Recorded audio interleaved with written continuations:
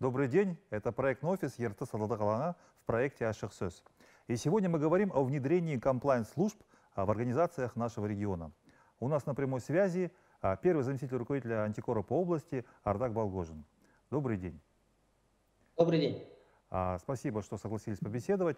А вот сегодня в антикора Урталага прошло мероприятие с участием руководства антикора по области, Акимата Павловской области и филиала Академии госуправления при президенте Республики Казахстан, на котором вот обсуждалось как раз-таки а, внедрение и развитие комплайнс-служб в организациях нашей области. А вот можно рассказать, что такое комплайнс-службы и а, какова была цель сегодняшней встречи? А, спасибо, Аризабек. А, ну, цель, начну с того, что целью мероприятия это было обсудить э, теоретические и практические аспекты а, построения системы антикоррупционного комплайнса в нашем регионе. Ну, касательно, что такое антикоррупционный комплайнс, на сегодня в мире является основным инструментом обеспечения добропорядочности организации, является эффективная деятельность независимых служб комплайнса в рамках управления рисками и внутреннего контроля. И основной задачей специалистов комплайнса – это предупреждение правонарушений и защита деловой репутации организации. А, согласно вот передовому опыту стран ОСР, э, в Европе государство стимулирует создание антикоррупционного комплайнса в частных компаниях а, путем э, оказания предпочтения при размещении госзаказов, э, госзаказов, выдаче займов банками. А, что касается нашей страны, комплайнс – это явление не новое. А, в целях поощрения добропорядочности а, бизнеса агентство уже на протяжении последних трех лет реализует проект инвестиционного сопровождения предпринимателей и инвесторов. У нас работа также плотно проводится, тесно и зачастую совместно со средствами массовой информации. Подобной защиты у нас только в нашем регионе 50 инвестпроектов на сумму порядка 580 миллиардов тенге. Ну, это значительно а, снижает административное давление на предпринимателей. И я думаю, что в этом контексте добропорядочность бизнеса особенно важна, когда речь идет о выполнении компаниями требований закона и всех принятых на себя обязательств. Угу, спасибо за ответ. А вот скажите, все ли организации обязаны создавать комплайнс-службы? А, ну, значимость и актуальность а, антикоррупционного комплайнса определена на законодательном уровне. А, с, с прошлого года в законе о противодействии коррупции Институт антикоррупционного комплайнс служб ответственный за, за соблюдение корпоративных стандартов добропорядочности а, в организациях квазигосударственного сектора. А вот сами компании вот на сегодняшний день, они понимают, что такое комплайнс-службы, осознают ли важность этого инструмента? Ну, э, я скажу так, что среди компаний уже растет осознание того, что а, борьба с коррупцией является целесообразной с коммерческой точки зрения, а, поскольку она несет ущерб репутации и финансовые потери э, для бизнеса. И в, данном случае наша позиция, и она принципиальна, это создание и эффективная деятельность компании а, подразделений во всех организациях квазигосударственного сектора. И у нас уже определенная работа в этом масштабе проведена э, непосредственно в регионе в нашем, в нашей области. А на сегодняшний день из 106 субъектов квазигоссектора в 95 у нас э, создана комплайнс-служба. Мы это, этот вопрос держим на пульсе, мы его мониторим, проводим анализ. Ну, на данный момент у нас, к сожалению, пока э, видно, что э, к организации открыли, как с точки зрения законодательство исполнили, но есть элементы формализма э, и развития комплайнса. Э, это полное отсутствие, а также полное отсутствие обратной связи, э, особенно частного бизнеса. Не обучают специалистов э, по внедрению комплайнса и международного стандарта ISO 201. Э, это система борьбы с взяточностью. В 2016 году был принят. Ну и хотел бы тоже, пользуясь случаем, отметить, что возможности и практические специалисты вели в виде филиала Академии госуправления при президенте. У нас имеются, и мы уже неоднократно проводили работу.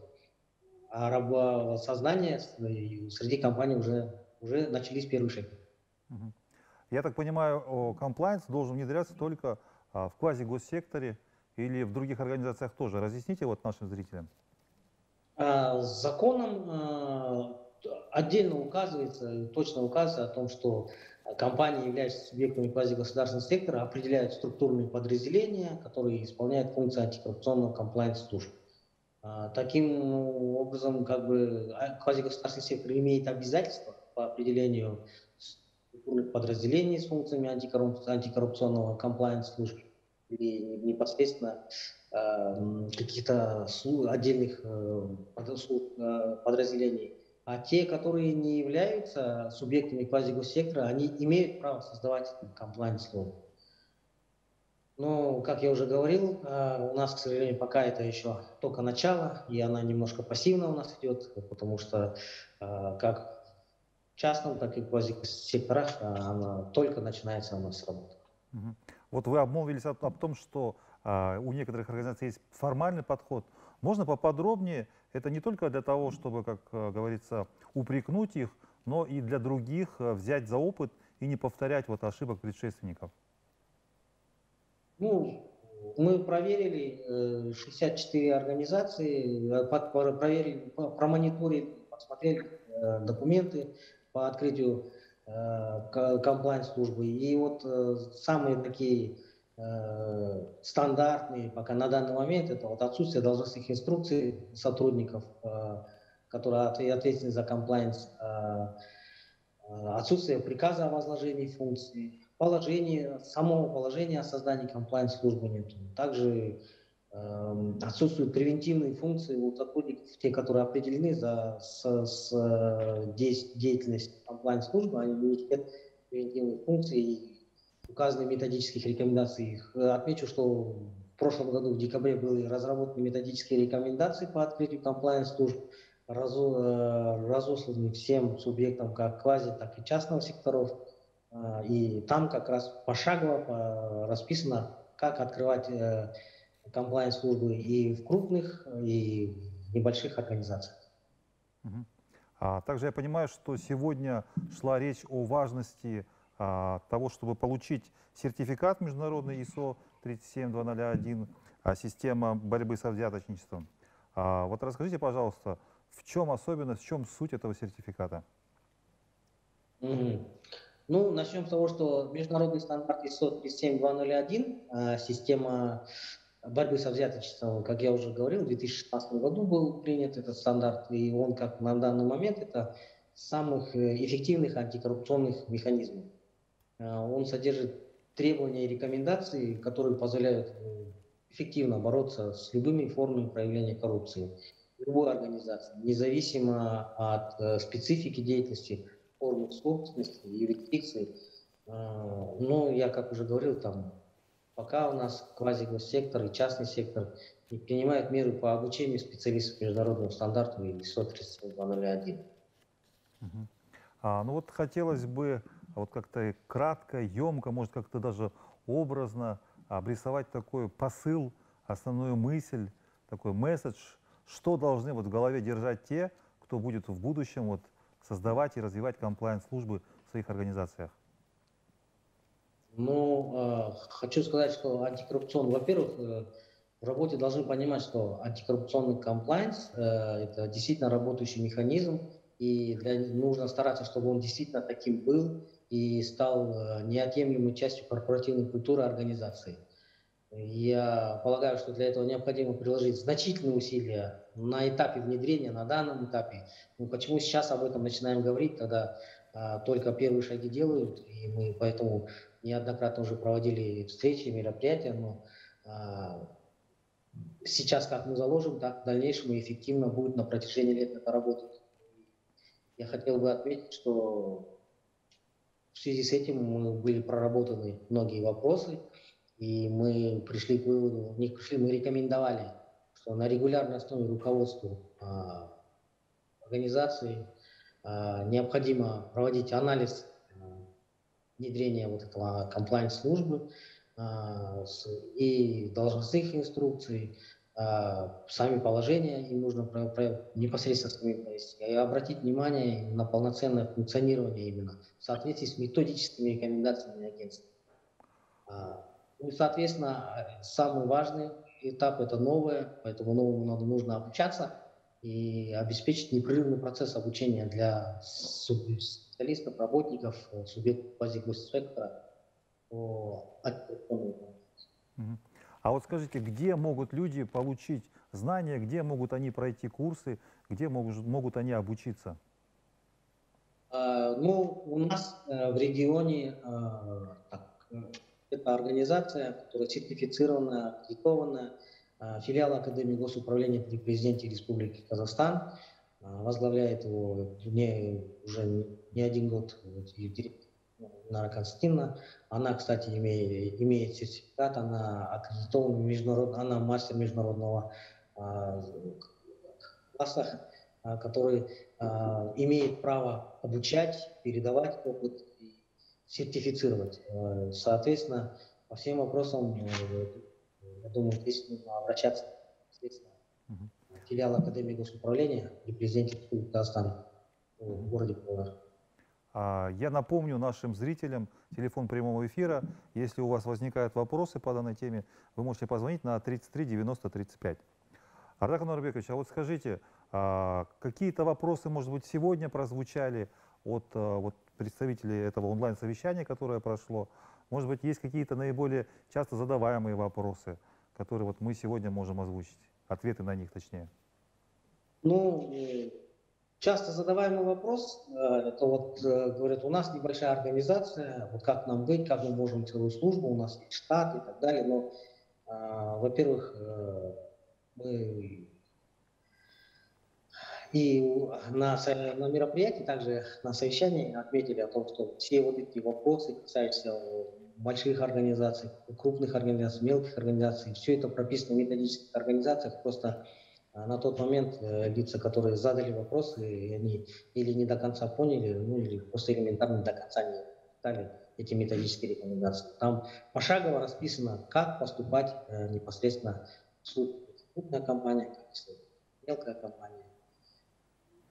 Ну, э, в принципе, новый инструмент, а, новый подход. а, Видимо, еще не все до конца понимают. Но вот как вы, по вашим прогнозам, а, вот когда мы добьемся вот стопроцентного внедрения комплайн-служб в организациях нашего региона? У нас, конечно, планы грандиозные. Мы планы ставим, сроки для себя короткие и хотим так, чтобы в нашем регионе онлайн-служба полноценно заработала уже. Я думаю, к весне мы будем уже полноценно работать. Да, ну вот э, скажите, пожалуйста, куда могут обращаться а, люди за консультацией, вот, к- кроме как а, в Академию госуправления, про которую вы говорили? Ну, непосредственно к нам в департамент, э, э, в антикорцентр, и также Резабек, проектный офис Ертыс Адалдык Каланы, который также возглавляет. Э, тоже не умаляйте свою работу, вы также активно принимаете деятельность по формированию анти- антикоррупционного комплайнса в нашем регионе. Ну что ж, может быть, что-то я у вас не спросил, и вы сами хотели добавить а, к, вот, а, к озвученной теме. Какой вопрос, вот, может быть, не чаще всего задают, а какой-то, может быть, вопрос самый острый стоит а, вот в этой проблеме а, повсеместного, качественного внедрения комплайнс-служб? Извините, не расслышал здесь, что-то помехи произошли. Да, я хотел бы уточнить, а какая вот основная проблема, не то, что вот как часто задаваемый вопрос, о котором мы только что говорили, да, а какая-то, может быть, важная проблема, самая острая, которую вот сегодня надо незамедлительно решить? Ну, во-первых, это самая острая проблема, нужно научиться. Для, того- а для, для, для того, чтобы э, что-то делать, надо знать, что делать. Для, для этого самое первое, всем су- субъектам, я бы всем организациям рекомендуется пройти обучение. А, Пройти обучение, сертифицироваться, и тогда уже у нас будет идти вперед, тогда мы уже будем видеть. А сейчас говорить о том, что мы откроем, будем идти, но не знать, как это делать, это, конечно, сложно. Ну что ж, спасибо большое, что вышли с нами на связь, подробно от... от- А у нас телефонный звонок, Ардак Норбекович. Да, мы вас слушаем. Мы вас слушаем. А, ну что-то сорвалось. Ну, в следующий раз дозвоняться, надеемся. Ну что ж, спасибо еще раз, э, что вышли на связь, ответили подробно на все наши вопросы. Успехов э, в этом начинании. Спасибо, до свидания. До свидания. Это проект «Аших СОС». А Мы говорим о борьбе с бытовой коррупцией, усилении общественного контроля, а также повышении уровня добропорядочности во всех сферах. До новых встреч!